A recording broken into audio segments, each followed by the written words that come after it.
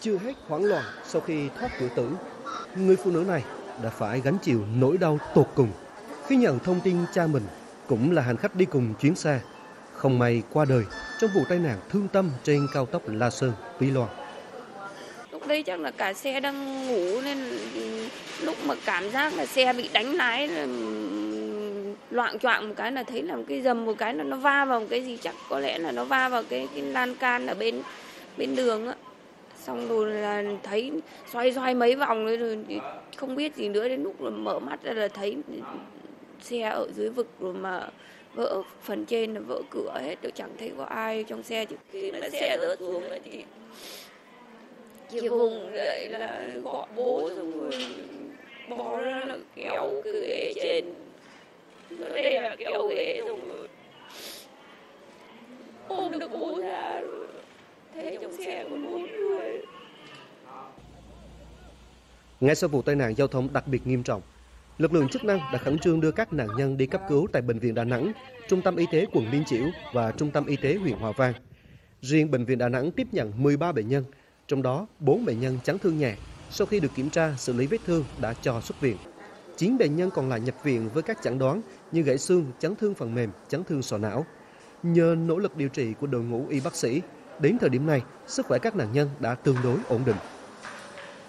Trước mắt là khoa ngoại thần kinh bệnh viện Đà Nẵng đang à, đã tiếp nhận được 6 à, trường hợp bệnh nhân bị à, tai nạn trong cái à, tai nạn hàng loạt vừa rồi. Và trong đó thì à, hiện tại thì cả tất cả các bệnh nhân à, tại khoa đã được à, theo dõi và điều trị sát hiện tại tạm ổn. Thấy ghi nhận hồ sơ thì à, có ở khoa hồi sức và khoa ngoại chấn thương cũng có tiếp nhận.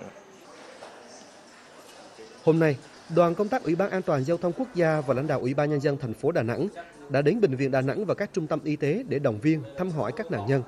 Ban an toàn giao thông thành phố Đà Nẵng hỗ trợ 5 triệu đồng một người tử vong, 2 triệu đồng một người bị thương. Lãnh đạo thành phố Đà Nẵng yêu cầu các y bác sĩ tập trung cứu chữa cho các nạn nhân bị thương. Các cơ quan liên quan hỗ trợ phương tiện về quê cho các trường hợp khó khăn sau khi xuất viện và liên hệ với gia đình các nạn nhân tử vong để hỗ trợ kịp thời. Cũng trong chiều nay, thì đoàn công tác của Ủy ban An toàn giao thông quốc gia đã đến kiểm tra hiện trường vụ tai nạn. Chiếc xe khách bị rơi xuống vực ở La Sơn, Hòa Liên được xác định đã tắt thiết bị giám sát hành trình cách đây 2 ngày. Qua kiểm tra, đoàn công tác Ủy ban An toàn giao thông quốc gia nhận xét kết cấu hạ tầng, vạch sơn, biển báo tại đoạn đường xảy ra tai nạn trên tuyến cao tốc La Sơn Túy Loan đầy đủ. Tại hiện trường không có dấu vết xe khách phanh trước thời điểm xảy ra tai nạn. Đáng chú ý, theo báo cáo của Cục Đường bộ Việt Nam và Sở Giao thông Vận tải tỉnh Đắk Lắk, xe khách gặp nạn không gửi dữ liệu giám sát hành trình suốt hai ngày qua. Ờ, có một điểm mà chúng tôi đang ờ, sẽ đề nghị các ờ, cơ quan chức năng làm rõ là lý do tại sao mà theo báo cáo của Sở Giao thông Vận tải Đắk Lắk và của Cục Đường bộ thì xe cái xe khách mà tai nạn này thì không gửi cái dữ liệu thiết bị giám sát hành trình từ hai ngày qua, tức là từ ngày 20 đến đến khi xảy ra tai nạn. Theo quy định, đơn vị kinh doanh vận tải hành khách bằng ô tô phải có bộ phận theo dõi an toàn giao thông và giám sát suốt quá trình xe chạy, nhắc nhở tài xế khi cần thiết.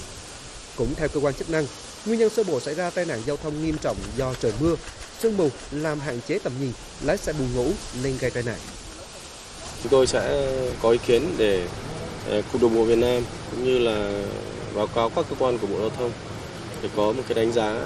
tổng thể về cái điều kiện về an toàn giao thông của tuyến ờ, cao tốc La Sơn Túy Loan và sẽ có những cái ờ, giải pháp ừ, ờ, tổ chức giao thông để cho nó phù hợp với cái,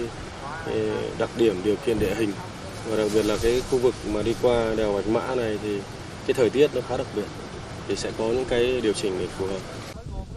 Hiện nay chủ của hãng xe gặp tai nạn đang tích cực phối hợp với lực lượng công an để cung cấp hồ sơ phục vụ điều tra.